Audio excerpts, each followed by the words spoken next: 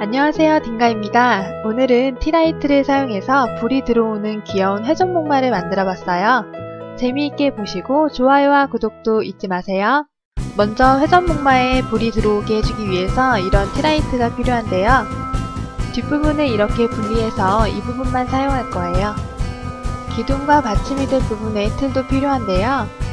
받침 부분은 tealight를 씌울 정도의 크기로 미리 만들었고요. 기둥 부분은 아이스크림 막대를 사용하시면 좋을 것 같아요. 호일을 팽팽하게 감아주시고 그 위를 클레이로 감싸줍니다.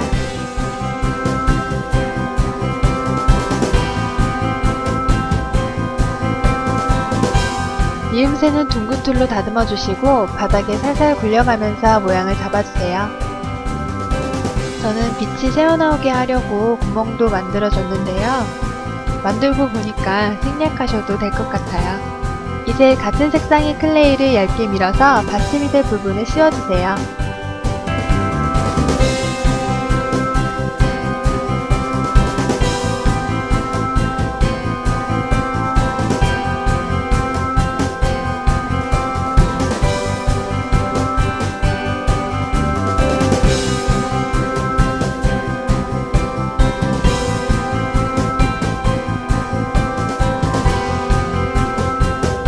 가운데에 기둥을 꽂아줄 부분을 미리 뚫어주세요.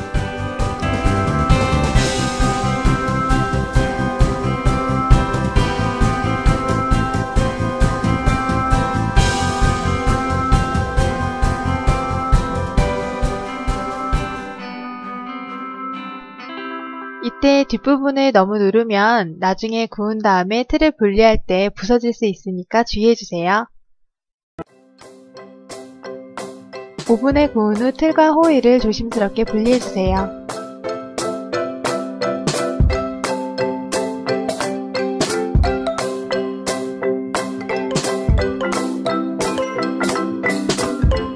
기둥의 길이를 알맞게 조절해서 잘라주시고 파일이나 사포로 다듬어줍니다.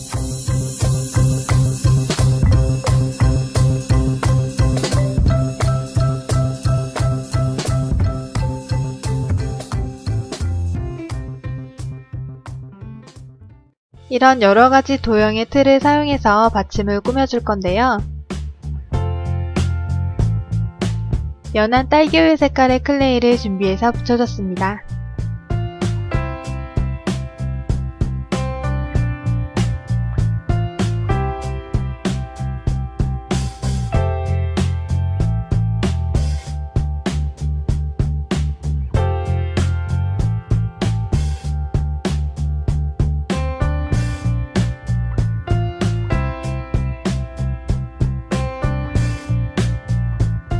이제 회전목마의 지붕을 만들어줍니다.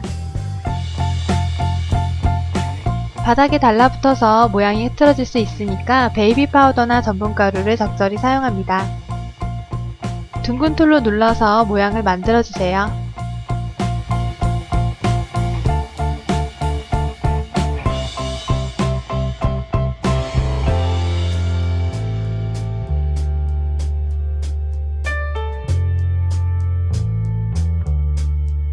안쪽에 기둥이 들어갈 부분에 스팀핀을 꽂아서 오븐에 구워주세요. 기둥과 지붕이 연결돼서 돌아갈 수 있게 기둥 끝부분에 남는 클레이를 채워주고 스팀핀을 꽂아서 구워줍니다.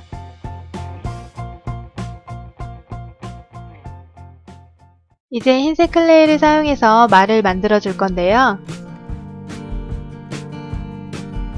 도트봉으로 연결하면서 말 모양을 만들어 줍니다.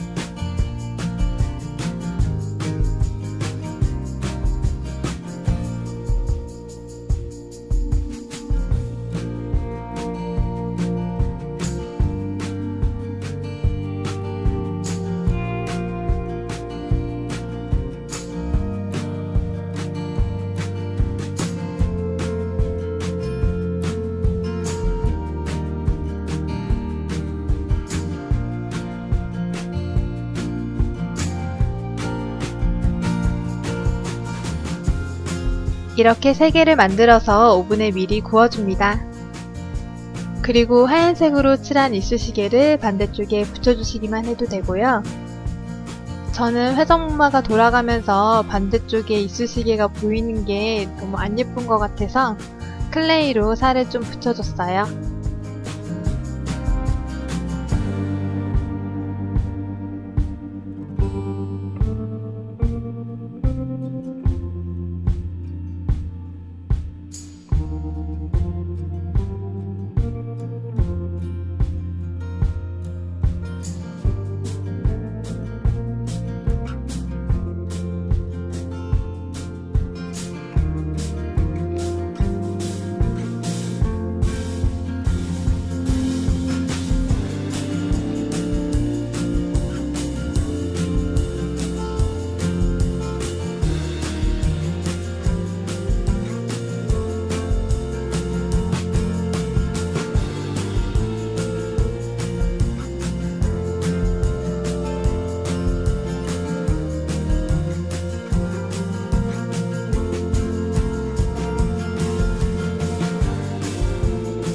아까 만들었던 지붕에 클레이를 붙여서 말을 꽂아줄 부분을 만들어줍니다.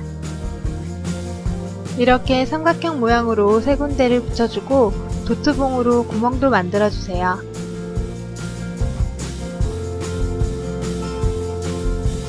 앞에서 분리해둔 티라이트를 안쪽에 넣어주시고 글루건이나 접착제를 사용해서 고정시켜줍니다.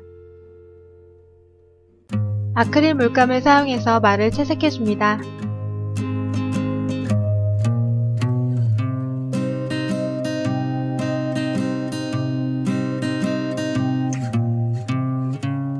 저는 젤칼라나 펄가루를 사용해서 더 꾸며줬어요.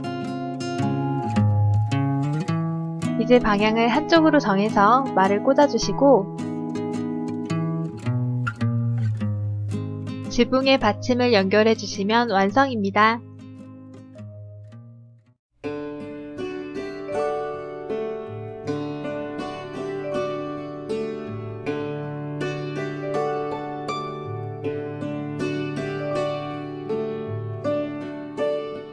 시청해주셔서 감사합니다.